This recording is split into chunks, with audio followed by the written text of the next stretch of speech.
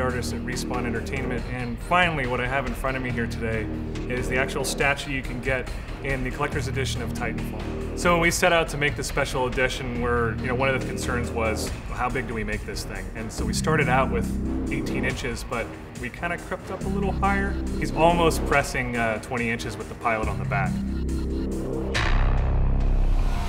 One of the things that we work really hard towards in Titanfall is to make these Titans feel large, and to do that, we really had to make sure that the special edition statue is just, we had to get to the right scale to get the right amount of detail in the characters that are around the Titan. The focus of the collection edition was to make sure that we're kind of capturing the essence of Titanfall. Titanfall is not a static game.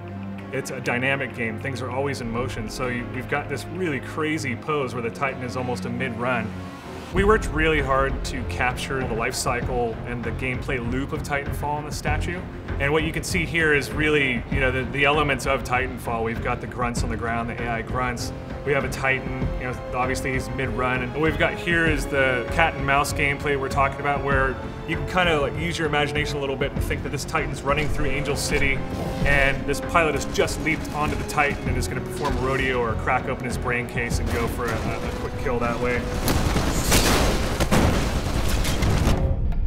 We're carrying stuff over from the game into this collector's edition right here is these ID lights that you're seeing on here. And in the world of Titanfall, we're kind of jumping into the future a bit and soldiers and pilots in Titanfall have these ID lights, which is kind of a, a, step into the next generation of what modern military has right now with IR reflectors and what they call sparkle tape. And this just takes it to a whole new level where in Titanfall, your friendlies have that in your augmented reality headset and you can see friendlies as blue and you'll identify targets in the battlefield as red. It's battery operated, so we've got a battery pack on the base here and there's a rock that'll flip it closed. You can you reach up, there's three AAA batteries in there and that's all it needs. We wanted to really, really up the ante and go big with this thing. So we went with a limited run and each one is individually numbered. Everybody at Respawn, our department, all departments, we're unbelievably excited about getting this out to the public and having everybody get a shot at getting their hands on this. It's not something that you'd find in a kid's meal. It's definitely a collector's edition for the true collector. It's high end, it's super awesome.